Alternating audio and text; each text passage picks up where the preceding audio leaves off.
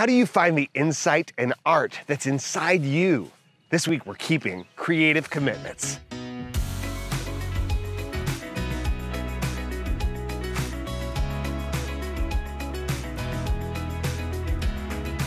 People often ask me, how do you come up with fresh ideas and produce a new video every single week? You must be so creative. That's not it. I'm creative because I produce a new video every single week.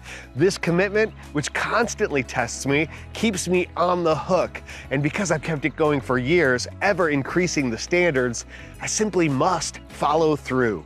Quite often, after a video publishes or approaching the next deadline, I struggle. What am I gonna say next? What do people really need to hear? And before I have the answer, I start writing. And before I have the shots decided, I start filming.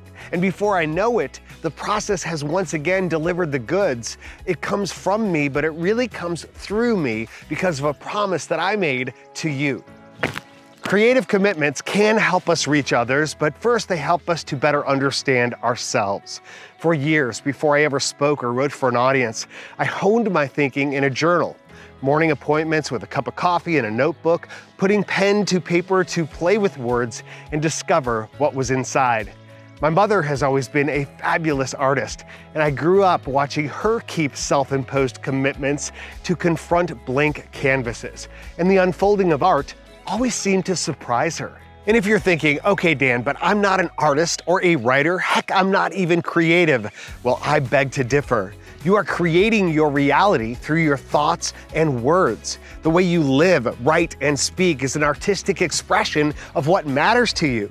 Your unique perspective has value. How much value depends upon how well you understand your thinking, your process, and honing the skills to elevate your voice. Make a commitment to yourself. Write in a journal every day for a month, or practice your art, music, photography, or whatever expression sparks you.